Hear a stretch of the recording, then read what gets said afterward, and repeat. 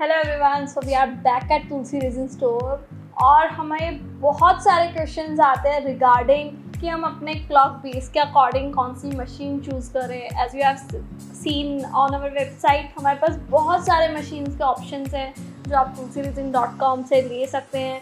लेकिन हमारे बेस के अकॉर्डिंग कौन सी मशीन में कौन सा साइज़ जाएगा, कौन से निडल्स हमें यूज़ करने चाहिए तो उसके बारे में हम जानेंगे आज के हमारे वीडियो में।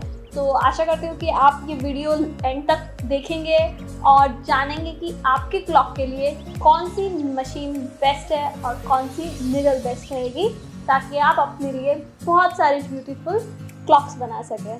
तो आइए जानते हैं स्टार्ट करते हैं हम। सबसे पहले स्टार्ट करेंगे हमारे मशीन से। तो हमारे पास आपने देखा होगा कि बहुत सारे टाइप्स के मशीन हैं, जिनका हम नाम स्पिंडल साइज़ के अकॉर्डिंग रखते हैं। 16 एम एम अठारह, बाईस, तेईस and twenty eight M M तो स्पिंडल क्या है? हम उसको कैसे डिफ्रेंशिएट करते हैं तो जानते हैं। स्पिंडल का मतलब होता है कि ये जो हमारी थिकनेस है इसका मेज़रमेंट इसका हम फुल मेज़रमेंट जो लेते हैं, उसको हम स्पिंडल साइज़ कहते हैं। जैसे कि अगर मैं इस वाइट टॉप से एंड गोल्डन तक जब मैं इसको मेजर करती हूँ तो उसका जो साइज़ आता है, उसको हम कहते हैं स्पिंडल साइज़ जो रहता है वाइट पार्ट से गोल्डन पार्ट तक complete spindle that is spindle size और अब थ्रेड साइज़ क्या होता है? थ्रेड साइज़ होता है जो हमारा गोल्डन पार्ट रहता है जो हमारा गोल्डन मेज़रमेंट रहता है, इसको हम बोलते हैं थ्रेड साइज़ तो जो हमारी मशीन हैं, वो अलग अलग साइज़ में है. सोलह एम एम अठारह एम एम अगर आप देखें तो ये इसमें आपको बहुत बड़ा गोल्डन पार्ट मिलेगा. ये हमारी सबसे बड़ी मशीन है ट्वेंटी एट एम एम इससे छोटे अगर हम जाएँ तो ये ट्वेंटी थ्री एम एम की मशीन है. इसमें आपको गोल्डन पार्ट जो पहले वाला है, उससे छोटा मिलेगा। अगर आप डिफ्रेंशिएट कर सकते हैं तो आप देख सकते हैं। ये अठारह एम है इसमें और छोटा मिलेगा। इसी प्रकार, जैसे भी हमारी स्पिंडल का साइज़ कम होता जाएगा, हमारा गोल्डन पार्ट कम होता जाएगा। और अगर हमारा स्पिंडल का साइज़ बढ़ता जाएगा तो हमारा गोल्डन पार्ट बढ़ता जाएगा। जो हम, इसका वाइट पोर्शन जो इसका स्पिंडल और थ्रेड का डिफरेंस होता है, वो मोस्टली सेम रहता है। ये आठ से दस एम mm का रहता है। तो अगर हमारा स्पिंडल साइज़ अगर सोचिए, अगर हमारा स्पिंडल साइज़ 18 एम mm है और इसका गोल्डन पार्ट अगर हमारा ऊपर का पार्ट आठ से दस एम mm है तो हमारा नीचे का पार्ट हमारे लिए सिर्फ़ आठ से, सात से आठ एम एम दस एम एम तक बचता है टोटल और यही हमें यूज़ आता है हमारी क्लॉक फिटिंग के लिए।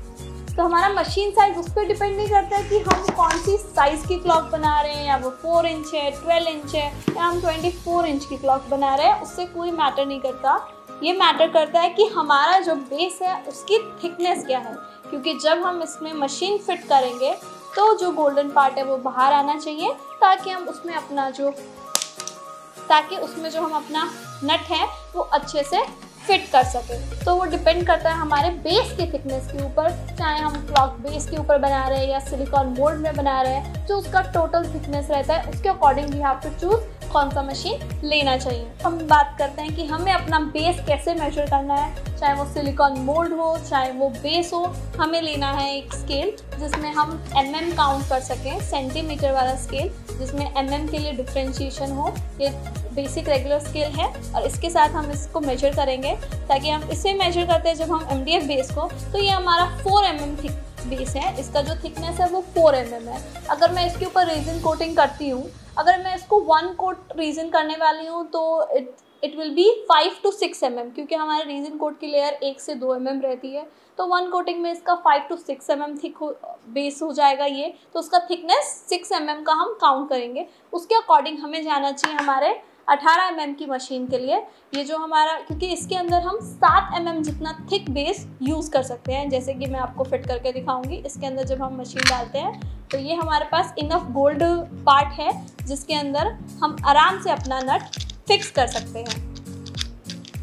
तो ये कब तक आ, ये मशीन हम जब तक यूज़ कर सकते हैं जब तक हमारा base six to seven M M maximum seven M M जब तक उसका थिकनेस रहेगा तो हम ये मशीन कर सकते हैं। बट अगर हमारा बेस समझो सिक्स एम एम थिक है, जो हमारा ये बेस है, अगर ये सिक्स एम एम थिक है, और इसके ऊपर हम रेजिन के दो लेयर्स करने वाले हैं, जो हमारे टोटल इसको मिला के आठ, नौ, दस एम एम तक का थिक बना देंगे तो हम उसके ऊपर जाएँगे कि हम अपना 22 टू mm का मशीन चूज़ करें, क्योंकि इसके अंदर हम अप टू 10 11 mm तक का थिक बेस यूज़ कर सकते हैं। तो अभी इसके ऊपर रेजिन नहीं है बट अगर इसके ऊपर रेजिन आता है तो भी ये मशीन इसमें अच्छे से फिट हो जाएगी।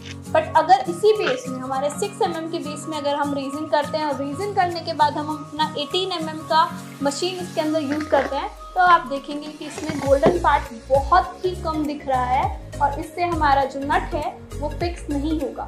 इसके अगर ऊपर अगर हम रेजिन का कोटिंग करेंगे तो अगर हम रेजिन कोटिंग नहीं करने वाले हैं, अगर हम इसको पेंट करने वाले और डायरेक्टली मशीन फिट करेंगे तो ये ऑटोमेटिकली इजीली फिट हो जाएगा। तो अगर हम अपने सिक्स एम एम बेस में ये मशीन फिट करते हैं ट्वेंटी टू एम एम हमारा जाता है बेड टू टू है बट अगर हम एटीन एम एम का लगाएँगे और ये सिक्स एम एम बेस है तो सिक्स एम एम के लिए एटीन एम एम सही है। बट अगर हम इस पर रेजिन कोटिंग करेंगे तो उसका थिकनेस बढ़ जाएगा और ये मशीन उसमें काम नहीं आएगा। अभी हम उसमें बिना रेजिन के ये मशीन फिट कर सकते हैं। अगर आप इसके ऊपर पेंटिंग करने वाले हैं तो ये मशीन आपको वेल टू गो है। बट अगर इसका थिकनेस बढ़ने वाला है और ये सेवन एम mm से सिक्स एम mm से अगर ये बढ़ के eight to nine ten M mm हो जाएगा तो हम इसके अंदर ट्वेंटी टू एम का मशीन यूज़ करेंगे। तो ये डिपेंड करता है कि हमारे मशीन साइज़ में मशीन साइज़ हमें कौन सा चूज़ करना है, ये डिपेंड करता है हमारे बेस की थिकनेस के ऊपर। सिमिलरली अगर हम सिलिकॉन मोल्ड में क्लॉथ बना रहे हैं और सिलिकॉन मोल्ड का थिकनेस हमारा 8 टू 10 एम mm है। 10 एम mm अगर हमारा सिलिकॉन मोल्ड का थिकनेस होता है तो उसके अंदर हम 22 two mm to 23 M mm तक का मशीन यूज़ करेंगे।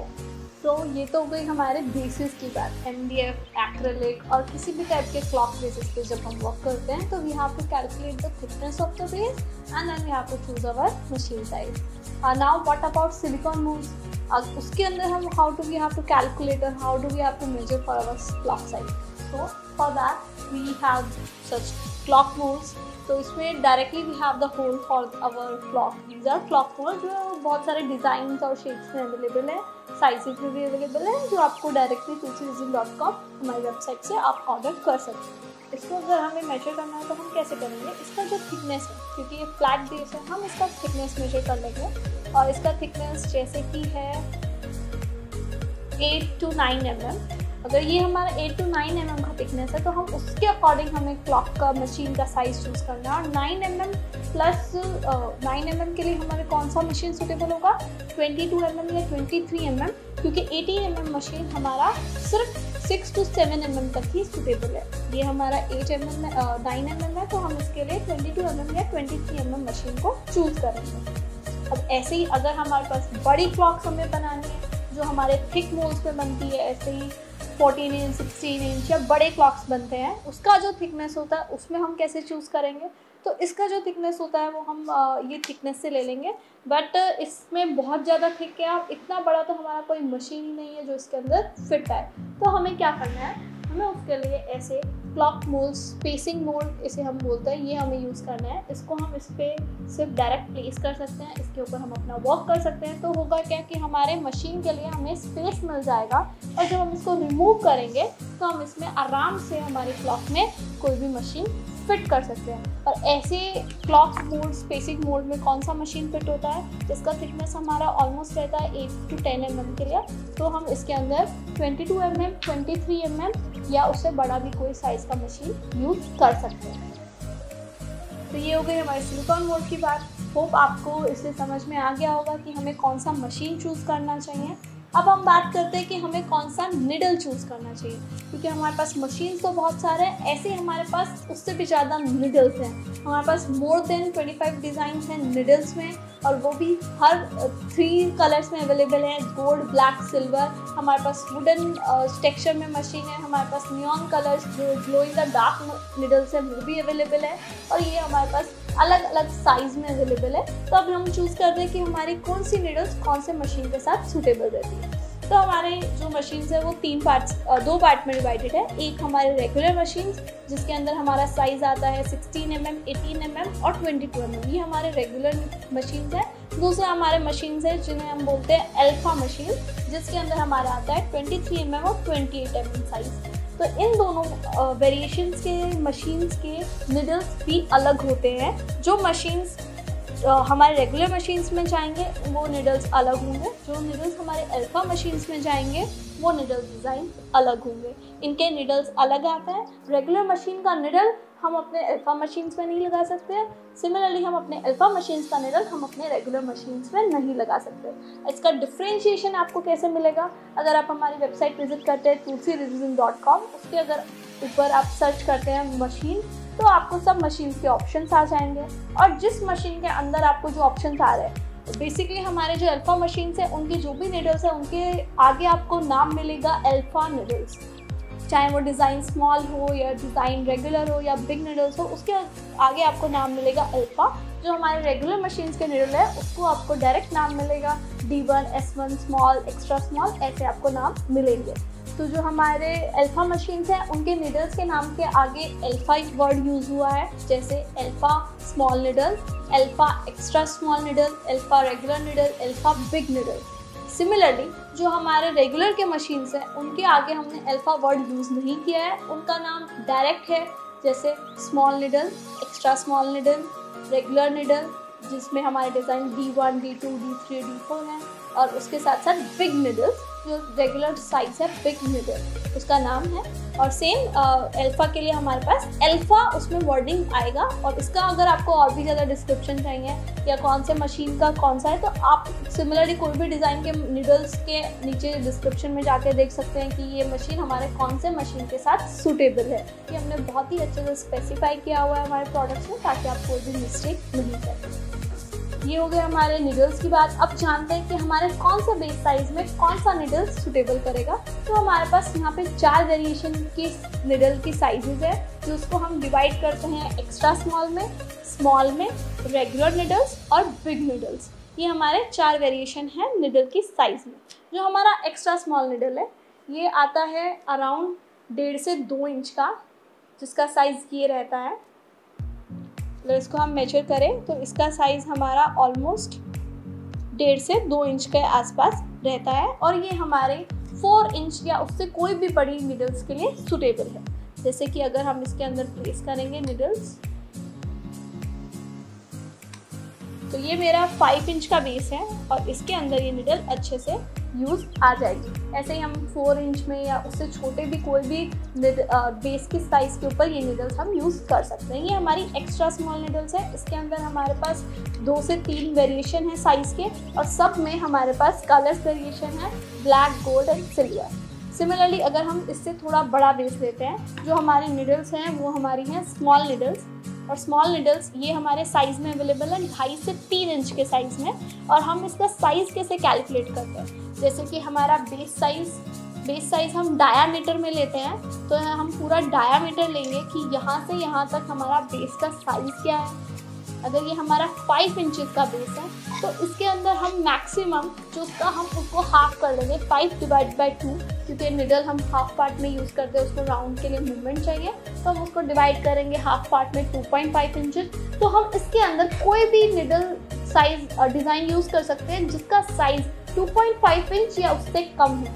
ये हम, ऐसे हम कैलकुलेट करते हैं, ताकि अगर आप कोई भी बेस साइज़ के लिए निडल्स चूज़ करना चाहें तो आप उसको डायामीटर लेना है। उसको डिवाइड बाई टू करना है ताकि हमारा रेडियस आ जाए, जैसे हमारा ट्वेल्व इंच का क्लॉक है। अगर हम उसको डिवाइडेड बाई टू करेंगे तो उसमें हमारा जो ये पार्ट आता है, वो सिक्स इंच आ जाता है। सिक्स इंच के अकॉर्डिंग मतलब हम उसके अंदर कोई भी निडल्स यूज़ कर सकते हैं जो सिक्स इंच से स्मॉल है।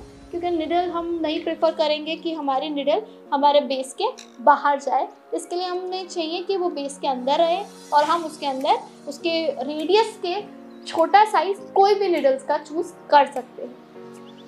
तो पहले बात होगी हमारी एक्स्ट्रा स्मॉल निडल की, अब हम बात करते हैं हमारी स्मॉल निडल्स की। स्मॉल निडल्स का हमारा साइज़ 2.5 इंच से 3 इंच है। 3 इंच मतलब हम उसको 6 इंच के अंदर वाले कोई भी क्लॉक बेस के अंदर यूज़ कर सकते हैं या उससे बड़े कोई भी बेस के अंदर यूज़ कर सकते हैं। जैसे कि अगर आप देखेंगे तो ये 5 इंच के बेस के लिए थोड़ा सा बड़ा है, इसलिए हम इसको यूज़ करेंगे हमारे 6 इंच के बेस के ऊपर। सिक्स इंच के बेस के ऊपर ये परफेक्ट आ जाता है? क्योंकि इसका साइज़ है टू पॉइंट फाइव इंच ये अगर आप देखेंगे तो ये अच्छे से आ गया है। जब हम निडल की साइज़ कैलकुलेट करते हैं तो हमें उसके सेकंड्स का निडल सेंटर में उसका गोल्डन पार्ट रहता है, वहाँ से कैलकुलेट करना है। बट हम मोस्टली प्रेफर करते हैं कि हम उसके जो मिनट्स वाला निडल है, उसको हम मैक्सिमम साइज़ कैलकुलेट करते हैं। इनके सब साइजेस का डिफ्रेंशिएशन क्या कौन से निडल कौन से साइज़ का है, ये सब आपको डिस्क्रिप्शन में या प्रोडक्ट के फोटोग्राफ्स में मिल जाएगा। सारे निडल्स का साइजेस मेंशन है ऑलरेडी तो आप अपने बेस के अकॉर्डिंग साइज़ चूज़ कर सकते हैं। अब सेम निडल हम एट इंच या टेन इंच के